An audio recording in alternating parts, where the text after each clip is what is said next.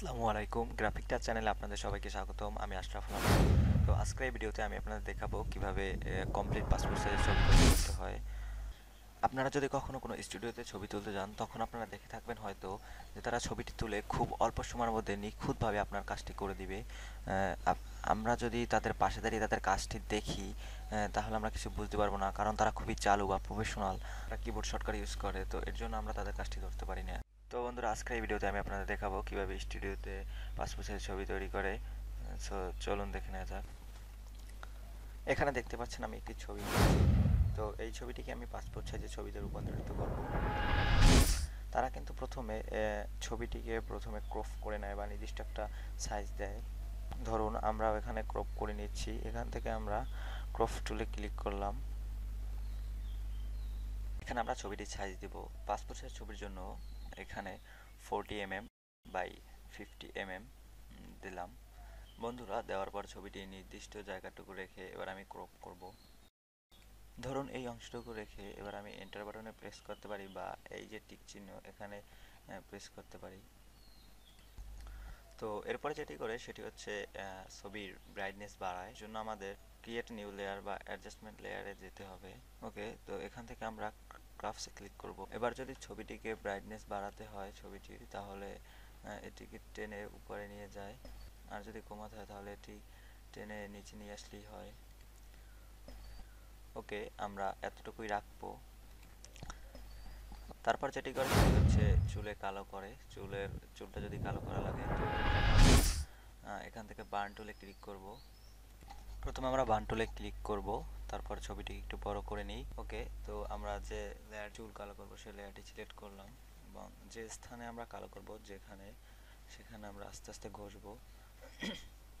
ওকে একটু অপাসিটি কমিয়ে নিই। এখানে হালকা পেন্ট পেন্ট করব। আস্তে আস্তে পেন্ট করার পর, আস্তে যেখানে যেখানে দরকার সেখানেই ঘষলেই হবে যেখানে সেখানে পেন্ট করলেই হবে ওকে। তো দেখতে পাচ্ছেন চুলগুলো কালো হয়ে গেছে।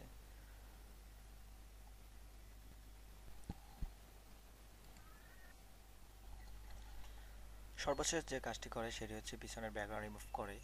তো এর জন্য ম্যাজিক টুলটি সিলেক্ট করব এবং এই ব্যাকগ্রাউন্ড কালার উপর একটি ক্লিক করব। এরপর যে কাজটি করে সেটি হচ্ছে ফেদার বাড়িয়ে নেয়। তো এর জন্য আমরা মাউসের ডান ক্লিক করব। ডান ক্লিক করার পরে এই যে ফেদার, এখানে একটি ক্লিক করব ওকে তো তারা ওয়ান পয়েন্ট ফাইভ বা টু দিয়ে থাকে, তো আমি এখানে টু দিব। ওকে ওকেতে প্রেস করব।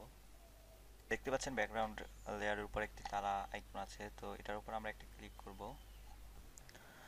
এবার আমরা ব্যাকগ্রাউন্ড কালারটি চেঞ্জ করব, তো এর জন্য ব্যাকগ্রাউন্ড কালারের উপর একটি ক্লিক করব। ওকে তো আমরা নেভি ব্লু কালারটি নিব। ওকে এবার আমরা সিলেক্ট করা এরিয়াটুকু ডিলিট করে দেব। তো এর জন্য কিবোর্ডের control plus back space press করলেই হবে। বন্ধুরা, দেখতে পাচ্ছেন, এবার কিন্তু ছবিটির ব্যাকগ্রাউন্ড রিমুভ হয়ে গেছে। তো বন্ধুরা, এবার তারা এই ছবিটিকে আপনার ফোন নাম্বার কিংবা নেগেটিভ নাম্বার দিয়ে সেভ করতে পারে। ছবি সেভ করার জন্য তারা কিন্তু কিবোর্ড শর্টকাট ইউজ করে। তো আমি আপনাকে ম্যানুয়ালি দেখাচ্ছি। এখানে থেকে ফাইলে ক্লিক করবেন। ফাইল থেকে সেভ অ্যাস তারা যে কোনো একটি ড্রাইভ সিলেক্ট করে এবং এখান থেকে জেপিজি করে নেয় এবং আপনার কন্ট্যাক্ট নাম্বারটি এখানে বসিয়ে দেয়। নাম্বার বসানোর পরে এখানে সেভে ক্লিক করুন অ্যান্ড ওকেতে প্রেস করুন। ওকে সেভ করার পর যেটি করে সেটি হচ্ছে ছবিটাকে সাজায় প্রিন্ট করার জন্য। ছবিটি সাজানোর জন্য কিবোর্ডের কন্ট্রোল এন প্রেস করব। ওকে তো আমরা একটি এ ফোর সাইজের পেপার নেব। তো এর জন্য আমরা এখান থেকে ইন্টারন্যাশনাল পেপার সিলেক্ট করব। তো এটাই একটি এ ফোর সাইজের পেপার ওকে তো ওকেতে প্রেস করব। দেখুন বন্ধুরা, এবার কিন্তু একটা এ ফোর সাইজের পেপার চলে আসছে। আমরা এখন এই দুটো ছবিকে মার্জ করে নিব। ওকে মার্জ করে নিলাম। তো এবার এই ছবিটি, এই ছবিটিকে টেনে ওই এ ফোর সাইজের পেপার উপর নিয়ে যাব। এবার আপনার ছবিটা যতগুলো কপি করতে চান এভাবে শিফট অল্ট চেপে ধরে করে নিবে, সাজিয়ে নেবেন। তো এভাবে শিফট অল্ট বাটন চেপে ধরে মাউস ড্রাগ করে এখানে আনে ছাড়ুন। তো এভাবেই তারা বন্ধুরা যতগুলো কপি করে, এভাবেই সাজিয়ে নেয়। তো বন্ধুরা, এই ছিল আজকের ভিডিও ভিডিওটি কেমন লেগেছে অবশ্যই কমেন্ট করে জানাবেন। আর আর ভিডিওটি অবশ্যই শেয়ার দিবেন। আর যারা আমার চ্যানেলটি এখনও সাবস্ক্রাইব করেনি প্লিজ দ্য সাবস্ক্রাইব বাটন আর যারা অলরেডি সাবস্ক্রাইব করছেন